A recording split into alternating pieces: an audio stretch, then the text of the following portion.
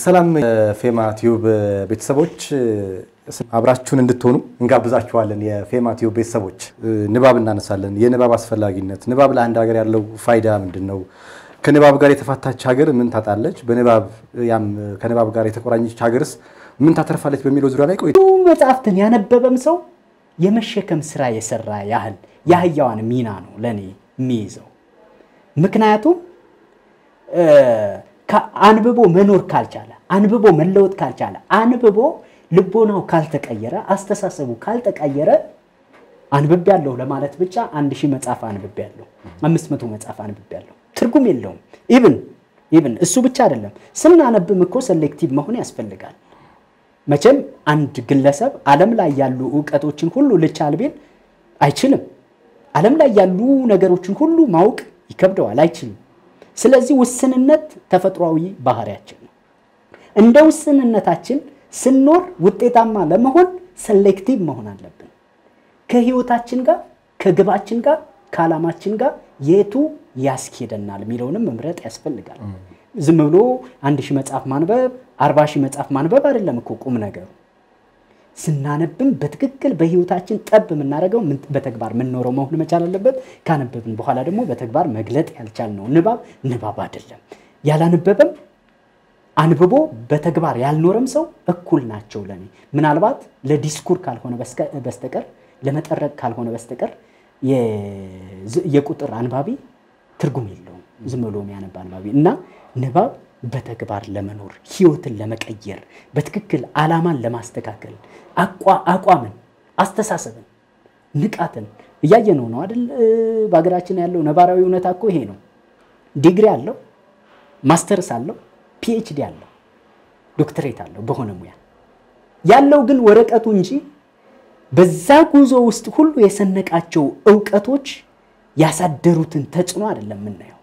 በዛ ጉዞ ውስጥ ያሳደሩት ያገኛቸው እውቀቶች በዛ ጉዞ ውስጥ የወጣው የወረደው ነገር ተጽዕኖ ቢፈጥር ኖሮ አስተሳሰቡ ቅን፣ ለወገን፣ ለሀገር፣ ለሰው ልጅ፣ ለእኩልነት የሚል ዓለም አቀፋዊ ዩኒቨርሳል የሆነ አስተሳሰብ ይኖረው ነበር።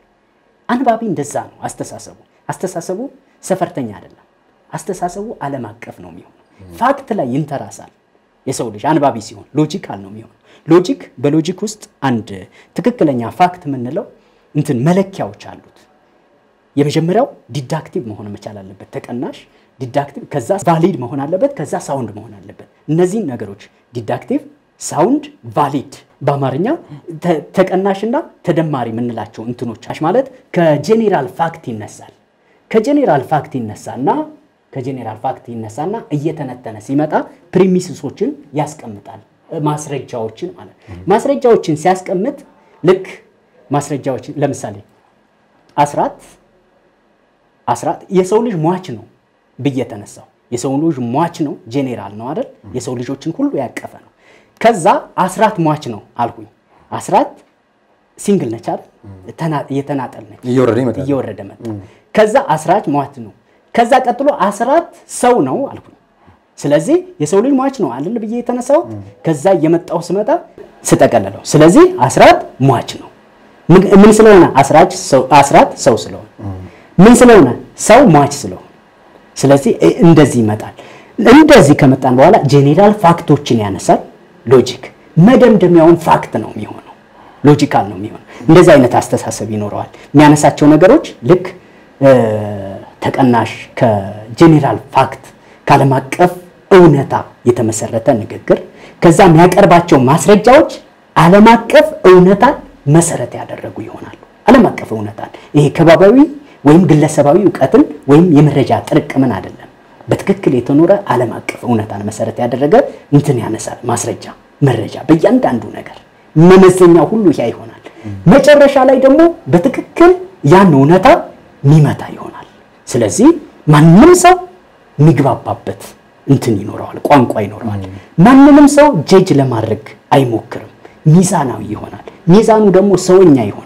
ሰውኛ ሲሆን ለጥቁሩ አይደለም፣ ለነጩ አይደለም፣ ለአፍሪካዊ አይደለም፣ ለአውሮፓዊ አይደለም፣ ለየትኛው ሰው ለሚባል ፍጡር ሁሉ የሚሰራ መርህ ይኖረዋል። የመርህ ሰው ይኖራል ይሆናል የሚያነብ ሰው ካለዛ ግን እንዳልሁ ዲግሪ ማስተርስ ዶክትሬት ይዞ እንትን ዝም ብሎ የቁጥር ብቻ ያኖረ ከሆነ ወረቀት ይዞ መጣ። ወረቀቱ የሆኑ የሆኑ እድሎችን ይከፍትለታል። በእድሉ ግን እሱ ምንድን ነው እድሉን እያጣመመ ለራሱ ብቻ በሚመች መንገድ ሰዎችን እየገፋ መጠቀም ይጀምራል ማለት ነው። ይሄ እውነታ ይፈጠራል። አንባቢ ከሆነ ግን ይሄን ማድረግ አንድ የተማረ ሰው ምን ማወቅ መቻል አለበት? ሊትሬቸርን፣ ስነ ጽሁፍን ሊያውቅ ይገባል። ስነ ጽሁፍን አንባቢ ከሆነ አንድ የተማረ ሰው ስነ ጽሁፍን ያውቃል። አንባቢ ከሆነ አንድ የተማረ ማንበብና መጻፍ የሚችል ሰው ምሁር ለመባል ምን የሚሰራው ያወቀው ተምሬያለሁ ያለውን ሙያ በአግባቡ በተግባር ሊኖረውና ሊሰራው በትክክል ሊያቅ ሊመራመርበት ይገባል። ሌላው ታሪክን ሊያቅ ይገባል። እነዚህ ሶስት ነገሮችን ለማወቅ ጥረት ያደርጋል በዘመኑ ሁሉ። እነዚህን ያወቀ ሰው ምን ይሆናል? ሚዛናዊ ይሆናል። ሚዛናዊ ይሆናል። ከሚዛን ከጎደለ ማለት እንደ ወቅቱ፣ እንደ ሁኔታው፣ እንደ ስሜቱ ከዛ ከዚህ እየተንገጫገጨ የሚሄድ ሰው አንባቢ አይደለም እና ንባብ ለዚህ ይጠቅማል። ሚዛናዊ የተሻለ እየሞረደን እየሞረደን እየሞረደን ይመጣና ለተፈጠርንለት ዓላማ ለህልማችን ምኖር ንጹህ ሚዛናዊ ሰዎች፣ ሐቀኛ ሰዎች እንድንሆን ፍሬ አፍርተን የምናልፍ ሰዎች እንድንሆን የሚያግዘን ትልቁ መሳሪያ ንባብና ንባብ ነው። ንባብ ደግሞ ምርጫ አይደለም። ንባብ ቅንጦትም አይደለም። ወደ ኢትዮጵያ ወደ አፍሪካ ሀገር ሲመጣ ነው ቅንጦት የሚሆነው። ንባብ መሰረታዊ ነገር ነው፣ አስፈላጊ ነው። አስፈላጊ ነው። እኛ ለመኖር ስንል ምግብ እንበላለን አይደል? ምግብ ካልበላን ይደክመናል። ስራዎችን እንደፈለግን ማከናወን አንችልም። ስለዚህ ምግብ ሆዳችን እንደሚያስፈልገው፣ ስጋችን እንደሚያስፈልገው አእምሯችን ምግብ ያስፈልገዋል፣ ይራባል እኮ ይራባል። የአእምሯችን ምግብ ደግሞ ንባብ ነው። ሌላው አካላችን እንዳይኮሰምን፣ አካላችን እንዳይዝል፣ አካላችን ንቁ እንዲሆንና ይህም በእድሜ ጫና ምክንያት አካሄዳችንም ቅርጻችንም እንዳይበላሽ ምን ማድረግ አለብን? ስፖርት መስራት አለብን ለአካላችን አይደል? አእምሮም ስፖርት ይፈልጋል። ለአእምሮ ስፖርት ምንድን ነው? ንባብ ነው። በዚህ በዚህ ካልተነባን ሰዎች ንቁ፣ የምንፈልገውን ህልም ምንደርስ በዚች ምድር ላይ ስንኖር እኛን እንደሚባለው ስማችንን የሚያስጠራ መልካም ተግባር ሰርተን አሻራችንን አሳርፈን ለትውልድም ለወገንም ለሀገርም ቢቻል ደግሞ ለዓለም የራሳችንን በጎ አስተዋጽኦ አበርክተን ማለፍ ምንችለው ምንችለው ስናነብ ነው። ማያነብ ሰው ግን እነዚህን ሁሉ ማድረጉ ይቅርና እንዲያውም ሸክም ነው የሚሆነው። ለዓለም እንቅፋት፣ ለሀገር እንቅፋት፣ ለወገን እንቅፋት ይሆናል። የሚያነብ ሰው ቢያንስ ቢያንስ እንዳልሁ አሻራውን ማሳረፍ ባይችል እንኳ ቢያንስ ቢያንስ በሌሎች እንቅፋት ነው። ሸክም አይሆንም። መቼም ስለ ንባብ ብዙ አነሳንና የምጠቀልለው ነገር አለ። የምጠቀልለው ነገር ብዙ ምክር አሁን አሁን አልወድም። ምክንያቱም የሰው ልጆችን መምከር አስፈላጊ አይደለም፣ አርያ ሆኖ መገኘት እንጂ።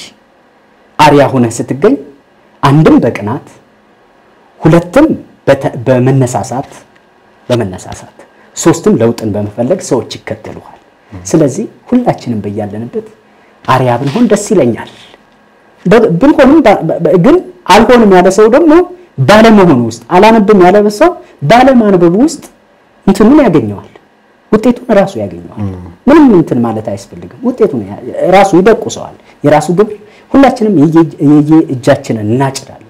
ስለዚህ የእጃችንን ለማጨድ እጆቻችን ዛሬ ምን እየሰሩ ነው? የሐሳቦቻችንን ላለማጨድ ሐሳቦቻችን ዛሬ ጥሩ ሳይሆኑ እንዳይቀሩ መጠንቀቅ። ጥሩ ከሆነ ግን ነገ የምናጭደው ጥሩ ስለሚሆን፣ ስለዚህ ዛሬ በተከልነው ልክ ነገ የምናገኘው ነገር አለ፣ የምናገኘው ፍሬ አለ። ፍሬያችን የምንፈልገው ጥሩ ተወዳጅ እንዲሆን ዛሬ ላይ የምንተክለው ነገር ላይ በደንብ መጠንቀቅ መቻል አለብን። ይሄ ንባብ ነው። ይሄ ንባብ ነው። ውድ የፌማቲው ቤተሰቦች ከደራሲና ታገል አምሳል ከደራሲና ዳይሬክተር ታገል አምሳል ጋር የነበረን ቆይታ ይህንን ይመስል ነበረ። ንባብ ለአንድ ሀገር የነበረው ያለው ፋይዳ ምን ይመስላል? ከንባብ ጋር የተጣበቀች ሀገር ምን ታተርፋለች? ከንባብ ጋር የተፋታች ሀገርስ ምን ታጣለች? እኛስ አንባቢ በመሆናችን የምናገኘው ትሩፋት ምንድን ነው? ከማንበብ ጋር ያለን ቁርኝነት ሲላላስ ምን እናጣለን በሚሉት ጉዳዮች ላይ ሰፋ ያለ ቆይታ አድርገናል። ደራሲና ዳይሬክተር ታገል አምሳልን በፌማ ቲዩብ ቤተሰቦች ስም ከልብ እናመሰግነዋለን። በሌላ እንግዳ እስክንገናኝ ድረስ መልካም ጊዜ፣ መልካም ቆይታ። subscribe፣ comment፣ share፣ like ማድረጉን አይዘንጉ። የደውል ምልክቷን ይጫኑ። መልካም ጊዜ